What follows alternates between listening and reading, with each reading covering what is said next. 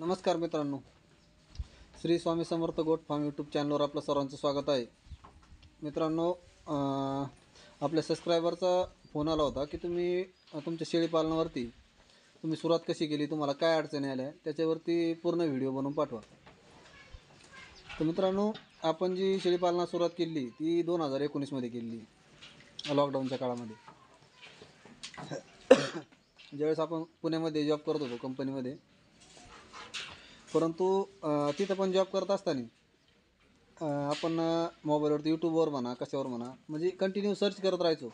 कारण आपलं शेळीपालनाची आवड होती. आणि ते एक डोक्यातच बसलं होतं की शेळीपालन करायचं.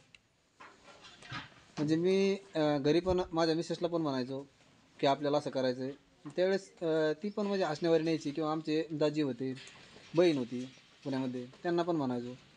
म्हणजे ते पण ह्या गोष्टीला थोडंसं हे करायचे. याला काय सारखं याच्या मोबाईलमध्ये फक्त शेळ्यांचेच फोटो येतं. शेळ्यांचेच व्हिडिओ आहेत.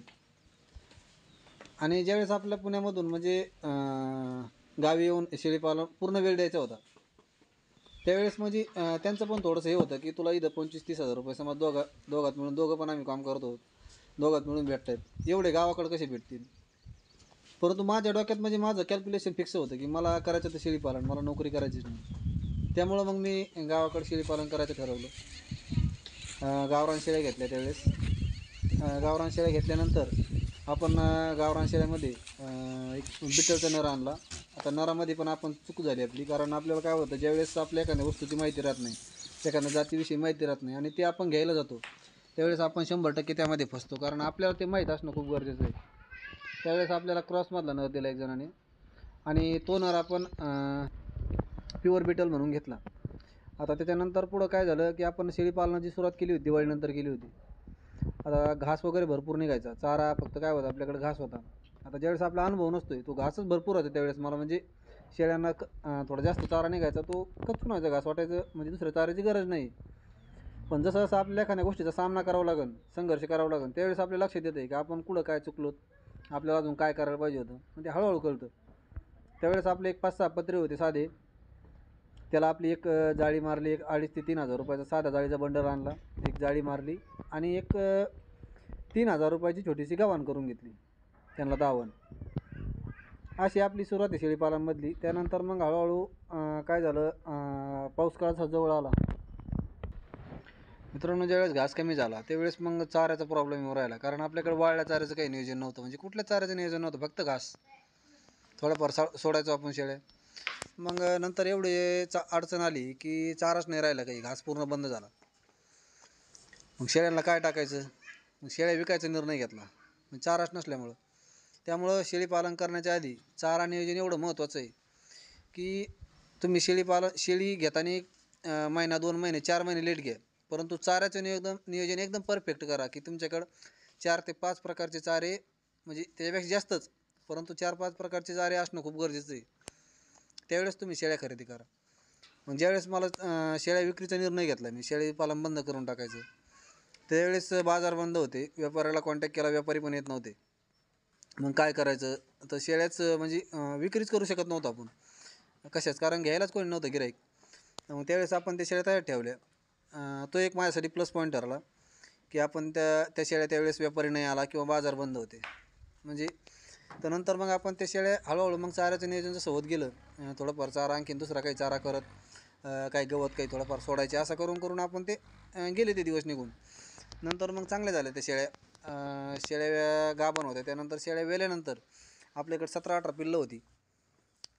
सतरा अठरा पिल्लं होती पण माणसं अपेक्षा थांबत नसती. आपण परत बाजारामधून एक दहा पिल्लं खरेदी केली. एक तीन हजार बत्तीसशे अडीच हजार रुपये अशा रेंजने आता बाजारामध्ये काय होत असतं लहान पिल्लाला भरपूर पैसे द्यावे लागतात पण तेच पिल्लं मोठं झाल्यानंतर त्यांच्यावर केलेला खर्च पण निघत नाही हे आपल्याला त्यावेळेस कळलं मला.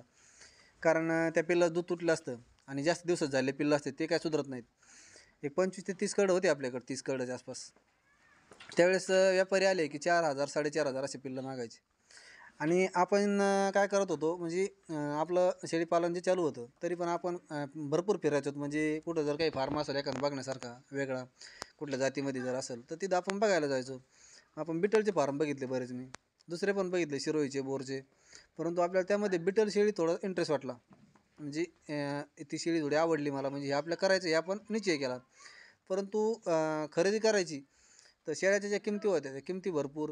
लहान पिल्लं जरी घ्यायला गेले तर पंधरा वीस हजार पंचवीस हजार. चांगल्या क्वालिटीचे पिल्लं तीस तीस हजार रुपये पण लोक सांगायचे. मग कसे खरे खरेदी करायची पिल्लं? एवढे पैसे आपण घालू शकत नव्हतो. कमीत कमी सहा महिने आपण त्यामध्ये फिरलो. घ्यायला तर जायचो आपण परंतु ते आपलं बजेट बसत नव्हतं. मग नंतर आपण आपल्या थोड्या व्यवस्थित तीन पाठी भेटल्या. आपण तीन अं, पाठी खरेदी केल्या. अं, मस्के जे आमच्या जवळच आहेत त्यांच्याकडून आपण तीन पाठी खरेदी केल्या छोट्या त्यांच्या घरच्या शेळ्यांच्या होत्या. त्यावेळेस मग त्यांच्यापासून आपली सुरुवात झाली. ती सुरुवात झाली नंतर मग आपण काय केलं अजून काही पैठण साईडला इकडं एक दोन फार्म होते तिथून काही आणल्या. नंतर आपण गावरान शेळ्यामधला थोडा इंटरेस्ट म्हणजे थोडंसं कमी केलं बा आपल्याला जे आपण जर इकडं बाहेर कामाला गेलो तर आपलं पाचशे रुपये रोज भेटणार आहे. म्हणजे पंधरा हजार रुपये महिना. मग जर आपल्याला गावरान शेळ्यापासून जर वर्षाला तेवढे पैसे राहत नसतील तर मग आपला वेळ देऊन उपयोग नाही याच्यात. म्हणून मग आपण ते थोडं एक हे केलं आपल्याला हे गावरान शेळ्या पूर्ण बंदच करायच्या आणि आपलं पूर्ण प्युअर बिटलमध्ये उतरायचं हे आपण ठरवलं. कमीत कमी एक दीड वर्षानंतर. गावरान शेळ्या घेतल्या दीड वर्ष सांभाळल्या त्याच्यानंतर बिटलमध्ये उतरायचं ठरवलं. मग आपण गावरान शेळ्या पूर्ण विक्री केल्या आणि त्या विक्री पण अशा केल्या घरूनच केल्या. बाजारामध्ये काही नेलं नाही कारण आपण संगोपन त्या पद्धतीने त्या शेळ्यांचं केलं होतं. आपलं संभाजीनगरमध्ये एक जणाने आपल्याकडून पूर्ण शेळ्या पंधरा हजार रुपये नगाप्रमाणे खरेदी केल्या गावरान शेळ्या. मग त्याचे जे काही पैसे आले त्याच्यातून मग बिटल शेळ्या खरेदी केल्या. म्हणजे शेळ्या म्हणजे पाठीच खरेदी केल्या शक्यतो मोठ्या शेळ्याच्या नाही नादा लागलो आपण मोठ्या एक दोन शेळ्या घेतल्या. त्याच्यात पण मित्रांनो काय होतं आहे थोडंफार नुकसान पण होतं. म्हणजे असं काही नाही. आता मी एक शेळी खरेदी केली बिटलची. ती आणल्यानंतर त्याच दिवशी एक्सपायर झाली बावीस हजार रुपये शेळी. परंतु आपण त्यामध्ये पण हे नाही झालो. म्हणजे खचून नाही गेलो. मग नंतर हळूहळू त्याच्यानंतर मग आपलं चाऱ्याचं नियोजन वगैरे चांगलं करून आता सध्या माझ्याकडे चाऱ्याचं नियोजन म्हणजे दसरथ घासे मेथी घासे त्यानंतर स्मार्ट नेपेर गवत आहे गिन्नी गवतामध्येच.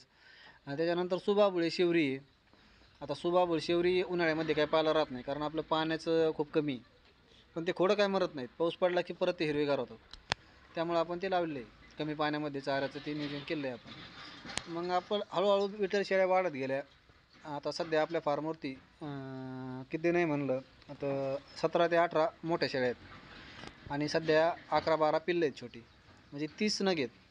आता याच्यामध्ये असं होतं मित्रांनो आपण सुरुवातीला सोळा हजार रुपयाचा एक मिल आणला बिटलचा तर त्यावेळेसच मला म्हणजे घरच्यांनी पण किंवा लोकांनी आणि असं आहे आपण ज्यावेळेस इतर कुठल्या पण जातीत काम करणार आहेत. आता मी स्वतः बिटलमध्ये ज्यावेळेस काम करतो आहे मी माझी पिल्लाची विक्री होती शेळ्याची विक्री होती. त्यावेळेस मला पण नाव ठेवणार लोक भरपूर आहेत. शेजारी पाजारी आपले जे आसपासचे लोक असतात. म्हणजे बाहेरचे लोक नसते नाव ठेवत. दुसऱ्या गावातून माणूस येऊन तुम्हाला नाव ठेवणार नाही. तुम्हाला तुमच्या जवळचाच माणूस नाव ठेवणार. मग काय खरं आहे त्या शेळ्याचं? काहीतरी करतं एवढ्या पैशाला कुठे शेळी विकत असते का? असे म्हणणारे लोक भरपूर आहेत. त्यांच्या कोणाचाच विचार नाही करायचा. इकून ऐकायचं आणि इकून सोडून द्यायचं. त्यांचा विचार करायचा नाही. आपल्याला काय परवडतं आहे आपल्याला त्यातून दोन रुपये भेटतायत ना हे आपलं माहीत असतं. त्यावेळेस हे करायचं. आता मग आपण ज्यावेळेस मी ज्यावेळेस सोळा हजारचा बोकड आणला त्यावेळेस मलाच बरेच जण म्हटले की एवढ्या पैशात कुठं बोकड असतो का? मित्रांनो स्टेप बाय स्टेप आपण करत असतो. पहिला बोकड सोळा हजार रुपयाचा आणला मी तो त्याच्यानंतर दोन चार महिन्यांनी विक्री केला. त्याच्यानंतरचा मी बोकड आणला. त्याच्यानंतरचा बोकड मी एक्केचाळीस हजार रुपयाचा खरेदी केला. त्याच्यानंतर आता सध्या माझ्याकडं पवन नावाचा शेहेचाळीस साईडचा मेल आहे. सत्तर हजार रुपयाचा मेल आहे.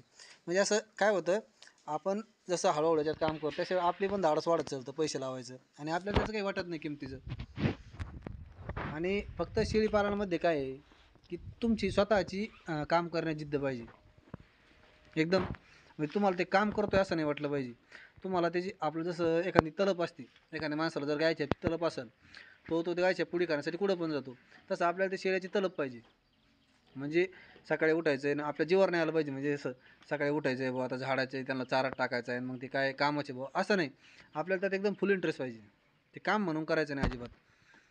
तरच आपण सक्सेस होऊ शकतो. शेळीपालनमध्ये काही अडचण नाही. फक्त आपल्याला हळूहळू जसं माहिती होतं आहे अनुभवित राहतील. आता आपण एका व्हिडिओच्या माध्यमातून तुम्हाला पूर्ण सगळं नाही सांगू शकत तेवढा तेवढं. जसं जसे हळूहळू मी तुम्हाला पूर्ण माहिती देत राहीन व्हिडिओच्या माध्यमातून. मित्रांनो व्हिडिओ कसा वाटला एक दोन वळी लिहून पाठवा नक्की. धन्यवाद मित्रांनो.